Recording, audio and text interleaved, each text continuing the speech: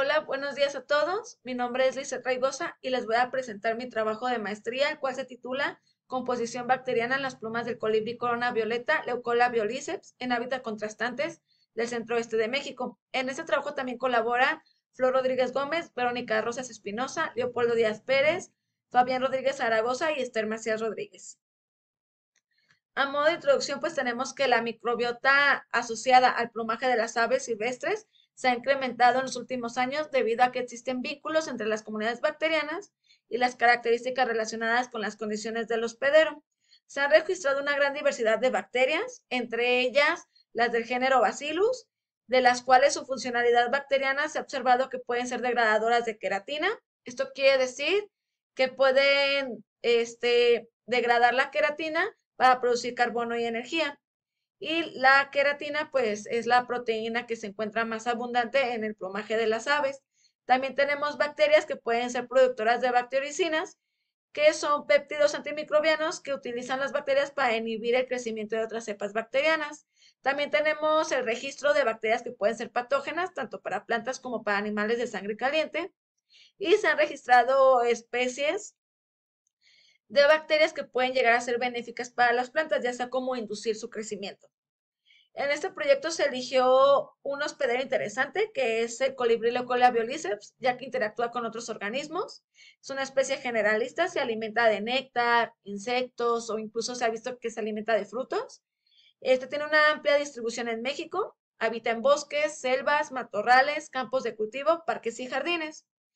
Así también se eligió el estado de Jalisco debido a que cuenta con una con la zona metropolitana de Guadalajara, que es una de las ciudades más grandes del país debido a su desarrollo urbano e industrial.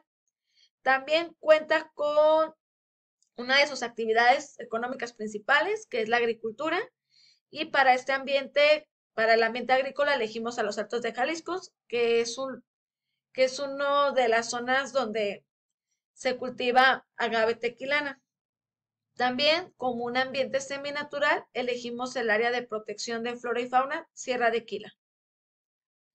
Este, el objetivo de general de este proyecto fue evaluar la composición bacteriana de las plumas del colibrí Leucolia violiceps en los tres ambientes, urbano, agrícola y natural, en relación con las variables bióticas, como las medidas morfológicas del colibrí, su peso, este tamaño del ala, su cola y su pico, y abióticas, humedad y temperatura. Elegimos este, para cada ambiente tres sitios. Este, en la zona de Potrero, perdón, en la Sierra de Quila elegimos Potrero, Campana y Cofradía. En la zona metropolitana de Guadalajara, tres parques importantes, Metropolitano, Colomos y Solidaridad. Y los Altos de Jalisco, Bajío del Indio, Bajío Nuevo y Piedra Herrada. En cada sitio este, colocamos redes, donde, redes de niebla en donde se encontraron parches con el síndrome de polinización de colibríes los muestreos se realizaron durante el otoño y el invierno del 2019, invierno y verano del 2020. En total se capturaron 60 individuos de colibríes, Leucolia violiceps. O sea, a cada uno se le hicieron dos frotes, uno, uno en la parte dorsal y otro en la parte ventral con un hisopo estéril. Se determinó la edad, si eran adultos o juveniles, o juveniles por medio de su pico, y se tomaron las medidas morfológicas como el ala, el tamaño del ala, pico, cola y su peso y también se anotaron las variables abióticas de cada sitio, humedad y temperatura. Este, en el trabajo de laboratorio se inocularon 60 muestras en medios de cultivos nutritivos, se aisló un total de 278 cepas bacterianas y a cada una se realizaron 13 pruebas bioquímicas para saber su funcionalidad. En total tuvimos 60 cepas bacterianas con distinta funcionalidad, de las cuales se les extrajo el ADN para después amplificarlo por medio de la región B1, B9 del gen ARN ribosomal 16S. Estas secuencias se compararon en la base de datos NCBI y se eligieron las que tenían mayor, aproximadamente una similitud del 97 al 100% este, de similitud comparado con estas bacterias.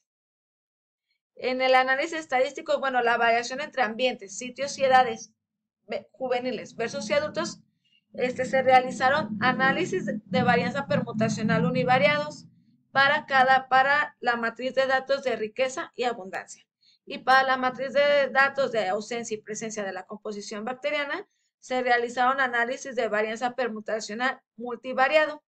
Y para saber u observar estas divergencias, estas diferencias, se realizaron análisis, un análisis de coordenadas principales. Para saber la composición bacteriana y su relación con las variables bióticas y abióticas, se realizó un análisis de redundancia utilizando dos matrices, la de las especies bacterianas y la de las variables bióticas y abióticas. Los resultados, bueno, se registraron un total de 51 especies que fueron cultivo dependientes, de las cuales eh, el género más, más abundante fue Bacillus con 22 especies, luego Pseudomonas con 10 y Penibacillus con 5 especies. Este, en cuanto a la variación ambiental, se observó que existe mayor abundancia este, en, en el área natural en contraste con el ambiente urbano. Esto se debió a que nosotros realizamos nuestros muestreos en temporada de lluvias en la zona natural, lo que influyó que hubiera una mayor abundancia, ya que se ha registrado que la temperatura y la humedad ayuda al aumento de la abundancia bacteriana. Sin embargo, en la riqueza no se observaron diferencias significativas ni entre ambientes ni entre los sitios.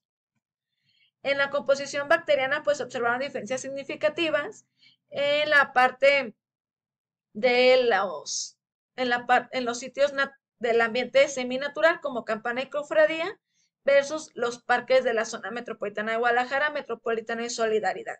Estas diferencias significativas pueden estar aunadas a que los colibríes en un ambiente natural recorren mayores distancias para buscar alimento, lo que los hace o los expone más a diferentes tipos de vegetación, clima y tipo de suelo, en contraste a, una, a un colibrí que vive en una ciudad y que el alimento se encuentra cerca de la, de la, o sea, sí, cerca en la vegetación del parque o en las casas de los alrededores, en los bebederos.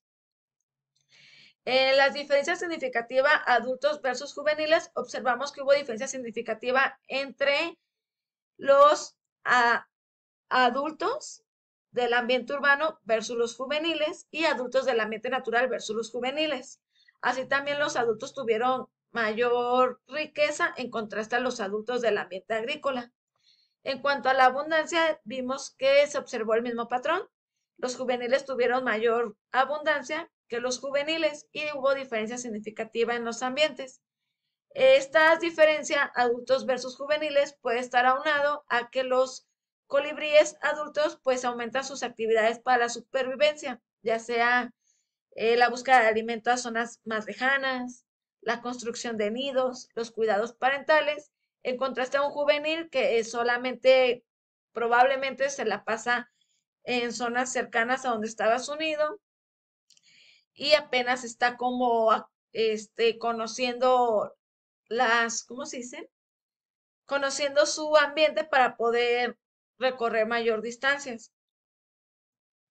En cuanto a la composición bacteriana y su relación con las variables bióticas y abióticas, bueno, pues la composición bacteriana este, no fue significativa en la parte de, en cuanto a las variables temperatura y humedad, pero se puede observar que este resultado está relacionado con el aumento de abundancia. La temperatura y la humedad fue muchísimo mayor en este ambiente, al igual que la abundancia bacteriana.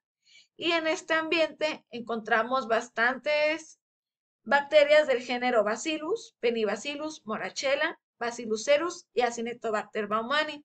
Aquí tuvimos el primer registro de dos bacterias que pueden ser patógenas y que están asociadas a animales de ganado, ya que a los alrededores de la, del área seminatural este, había bastantes zonas donde tenían vacas y caballos y había, y había bastantes es de estos animales, lo que pudo haber ocasionado que los colibríes estuvieran expuestos a este tipo de bacterias.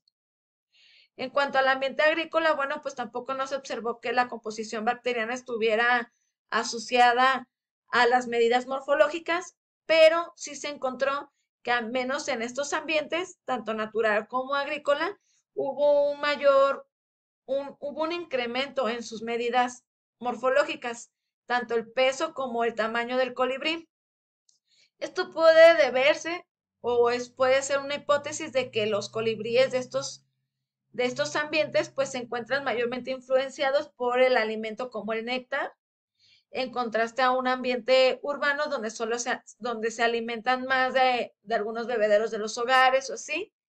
Y pues esto puede influenciar en su peso o tamaño probablemente. En cuanto a la composición bacteriana, observamos que se encuentran bacterias, bastante bacterias del género Bacillus, pseudomonas, espingomonas y curtobacterium. Aquí ya tenemos la presencia del primer género que puede, género bacteriano que puede ser tanto benéfico como patógeno para las plantas y que este puede estar también y que este colibrí puede estar este, participando en el transporte de este tipo de bacterias. En el ambiente urbano, bueno, pues aquí ya observamos que se correlaciona de manera negativa con las medidas morfológicas, pero la composición bacteriana que está relacionada en este ambiente son las especies del género Bacillus, Pseudomonas, Penibacillus y Panteaglomerans. Aquí ya observamos la presencia de una cepa bacteriana que puede llegar a ser patógena para algunas plantas. Y también podemos observar que las especies del género Bacillus se encontraron presentes en los tres ambientes, lo que nos puede estar indicando que Bacillus es, un, es una bacteria ambiental que es propia también del plumaje de las aves. Como conclusiones tenemos que la composición bacteriana este, cultivable del plumaje de Locolia violiceps cambió en los diferentes ambientes relacionado con las características ambientales específicas de cada zona. Los adultos mantienen una mayor abundancia y riqueza bacteriana en sus plumas debido al incremento de las actividades necesarias para la supervivencia. Y bueno, pues las especies del género Bacillus forman parte de la microbiota propia del plumaje del colibrí y se encontró que en áreas cercanas al ganado los colibríes están más expuestos a la transmisión de bacterias patógenas que pueden patógenas para animales de sangre caliente. Y bueno, pues quiero pedir, quiero dar o agradecer al equipo que estuvo apoyándome todo este tiempo, a mis compañeros de campo, mis compañeros de trabajo de campo, a mis asesores y a mi directora. Y para mayores informes aquí les dejo mi correo. Muchísimas gracias.